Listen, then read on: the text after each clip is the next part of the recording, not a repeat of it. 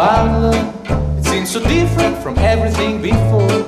I said blue about love. I spent here just looking for a job and a home. Inaugurato da Paolo Conte con 4.000 presenze, l'Umbria Jazz Fest vede tra i suoi protagonisti anche la formazione piacentina Sugar Pie and the Candyman, che durante il suo tour estivo internazionale si è ritagliata un doppio appuntamento quotidiano nella manifestazione, in scena fino al 19 luglio.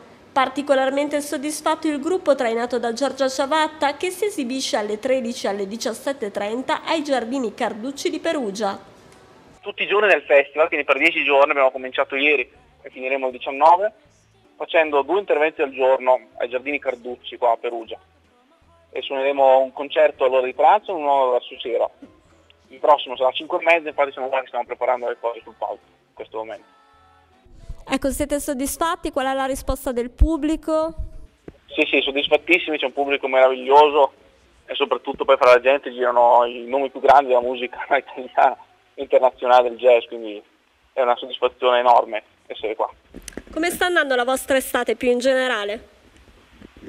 Siamo in pieno tour estivo, nel senso che è da fine giugno che siamo in giro senza un giorno di tregua, abbiamo cominciato andando a Berlino, poi in Polonia, poi abbiamo girato tutta quanta l'Italia, adesso siamo qua, abbiamo altri appuntamenti poi in Francia, in giro per l'Italia, Facciamo, faremo una piccola pausa verso Ferragosto, una settimana, e poi concluderemo a fine agosto suonando al Festival di Ischia Jazz. E fino a metà settembre saremo in giro.